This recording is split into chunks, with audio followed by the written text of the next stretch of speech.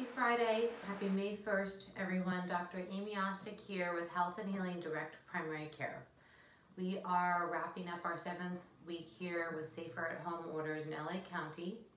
We have seen a sort of steady, um, not really incline or decline in the number of cases, uh, fatalities, and then but also an increase in reported cases here in LA County as they really start to widen their testing protocols. Yesterday they announced that they would be willing to test not just patients with symptoms but asymptomatic individuals.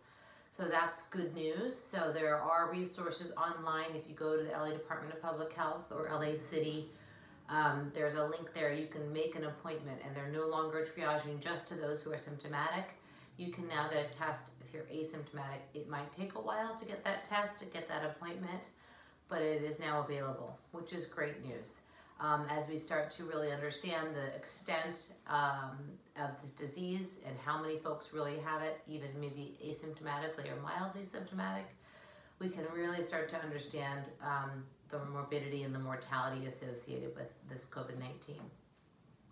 Today I just wanted to pause. Um, a lot of thoughts circulating in my brain, a lot of things happening this week um, a lot of things I'd like to address, but I think most importantly, I wanted to address today um, really the mental health aspect in the sequelae this has kind of caused both the disease itself and the illness and the fear of the illness, but also the sequelae of the stay-at-home, safer-at-home orders and the economic shutdown and the isolation that people have experienced and really how that's affect our mental health.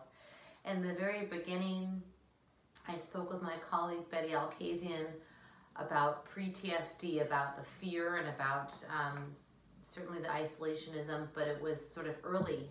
And I think we're a bit over the peak now, hopefully, with this particular outbreak um, here in LA County specifically. And now what we're going to have to, what we're sort of dealing with is the emotional impact. Um, people are getting, people are struggling emotionally, financially. People aren't reaching out uh, physically, medically. So maybe they're struggling also at home with medical issues because of the fear of going out. Um, we have two more weeks, hopefully, with LA County being safer at home before we start to move into the next phase. I'm not sure all those things are fluid and, ev and evolve, but I wanted to focus today on our mental game. And I'm taking a cue from my friend um, and local Valley guy, Jeff Suppan, who gave me some great tips. He works with the Royals organization and he was giving a kind of a web conference to his pitchers about what can we do. We can't do much physically to change our surroundings and the situation we find ourselves, but we can focus on our mental game.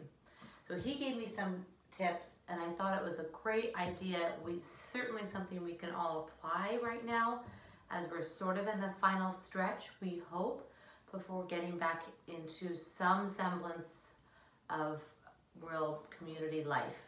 Um, so he called it, you know, best performance. And in his world, it's throwing the best pitches.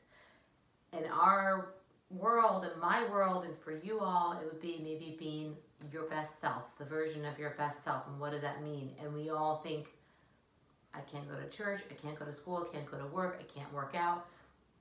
How am I able to be the best version of myself today? Um, he recommends three things. So journaling, and that's been shown through a lot of literature. Um, you know, journaling your thoughts and your feelings about what it not just feels like when you're having maybe a bad day, but when you're having a good day. So that that writing down maybe solidifies what it feels like and what was happening that day when you were having a good day. Um, and hopefully that repetitive nature of journaling, it starts to almost be self-fulfilling prophecy. Before I go to the second one, what made me also prompt to do this mental game today was that there was something released in the last couple weeks, and this is not a surprise to me, that there's been a 34% increase in the number of prescriptions for anti-anxiety medications. So that's just a reflection of what we're all going through. And this is one way to sort of address that. Medications are absolutely important as well, um, but it's sort of half the story. The second thing that our friend recommends is, um, and what has been shown to be very helpful for mental uh, stability and working on our mental game is relaxation exercises and breathing exercises. Headspace is a great app that I recommend to a lot of my patients. It is also being uh, is available free for healthcare providers and those on the front line.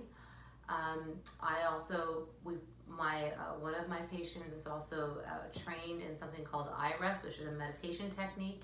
We will be having a second, our second, or third go round of that meditation, guided meditation, in a couple weeks. But find some method to work on active breathing techniques, relaxation meditation techniques. And the last one, which I love, and it makes a lot of sense again for his field of pitching, but visual imagery. And I think this is great. I think imagining what it feels like, looks like, um, sounds like when we have, you know, maybe are starting to go back into our normal lives. It will look different, but what's that going to feel like to see some of your friends for the first time? What's that going to sound like? Um, and allowing yourself to live in that moment of of really trying to imagine and visualize.